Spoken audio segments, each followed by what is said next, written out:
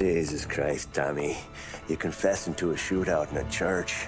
And I ain't even through the hard stuff yet. You know I could take you in right now, put you behind bars and tell you old and grey. Maybe. If you think you can make any of it stick. But then you'd never know about Morello. Hey, fellas. Sorry to keep you waiting. My shift just started.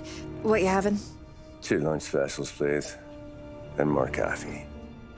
You know what? Let's bring the whole pot. All right, we've come this far together. What kind of heat did you get from the church? It's a strange thing. Nothing really came of it all. Always figured Salieri paid off someone somewhere because it wasn't even in the papers.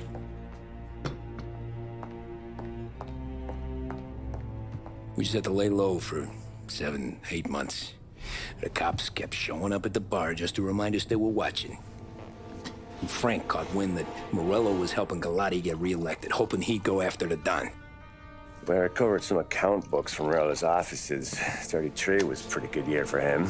Bastard knew we were bleeding out before we did. While we were busy keeping our heads down, he started moving in on our rackets. Quiet at first, a few trucks go missing. Uh, top burner has one too many highballs, drives off a bridge. One of our regular pickups suddenly closes up shop, moves upstate. And he didn't catch on? Not me. I think maybe Paulie smelled something. But even with the cops looking over our shoulders and Morello circling, we were still making good money. And with the Don worried about keeping the heat off, we didn't have much to do except drink, have a few laughs. Every time I went into Salieri's, there was Sarah. So it was a good year. Until Frank. Colletti, uh, Don's consigliere. Yeah, that's right. He set me straight. He set us all straight. There's a lot of buzz around town about you guys. Yeah, we got into a little scrap last night. It's no big deal. I don't care about the bar fight, Tom. I care how it looks when you walk into a club and buy everyone around. Uh, we gotta do something with our dough. Then blow it at the track on Sunday. Or take a dame to a show. Or invest it for Christ's sake. you want me to become one of those Wall Street boys? don't sass me, Tommy. I'm trying to teach you the ropes, so you don't get strangled by them. You ever have a dog, Tom? Sure. A Little mutt when I was a kid. When I was eight or nine, before I came over from Sicily, I had this beautiful, skinny Cirneco dell'Etna.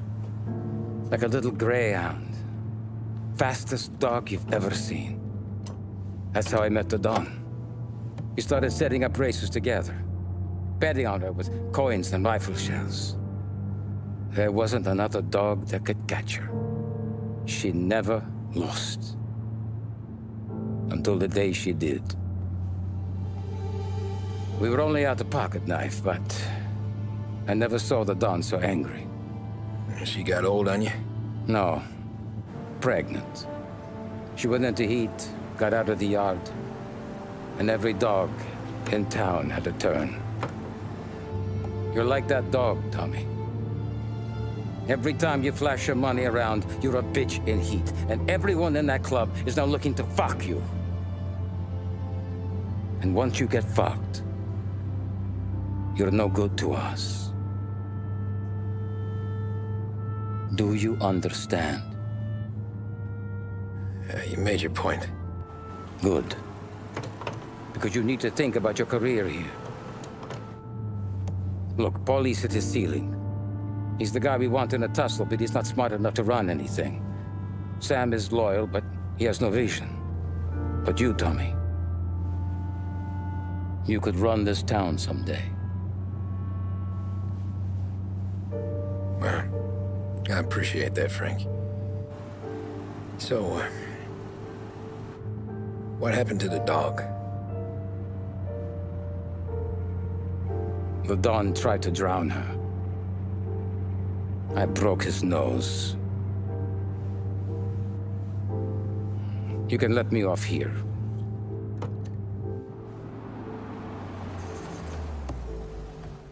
Give Sarah my best, Tommy.